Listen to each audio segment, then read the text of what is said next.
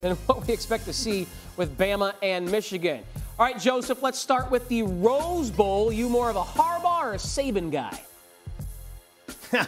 I got to be honest, we can sit here and break down games so many different ways. We can talk about EPA and advanced analytics. We can talk about situational spots. This game comes down to one thing. I watched that video of Michigan finding out that they were going to get Alabama and not Florida State. And then this one right here. Take a listen. Can you hear this? I don't know if we're running the audio, but the second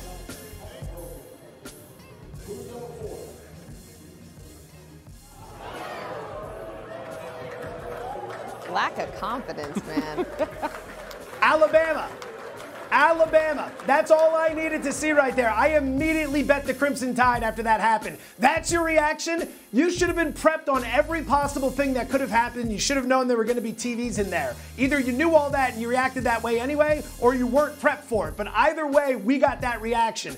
They didn't want Alabama. I'll take the points. I'll take them on the money line. I'm playing the tide. That's the handicap. The reaction to the news that they'll take on Bama, the handicap for Joe. I like that. Do you buy based on yeah. the reaction we saw that maybe Bama's the right side? Reactions say it all. It tells you how you really feel. They're clearly intimidated. Bama on the money line would be the only play in this one. I, I mean, before I even saw that, that just to me was going to be the play. A little surprised we're even a dog in this one. If you look at Michigan, all right, they beat three ranked opponents in the last four weeks, but is Ohio State Bama? Is Iowa Bama? Is Penn State Bama? No. And what's intriguing about Alabama is that defense has really stepped up and just things are clicking at the right time yeah, for them. Right. I know yesterday, or I made the point a couple times in the show, Bama doesn't look like the old Bama that we've seen, but Bama is still Bama in some ways, and Michigan has not played a schedule nearly as tough as theirs, so I do think Bama could get it done.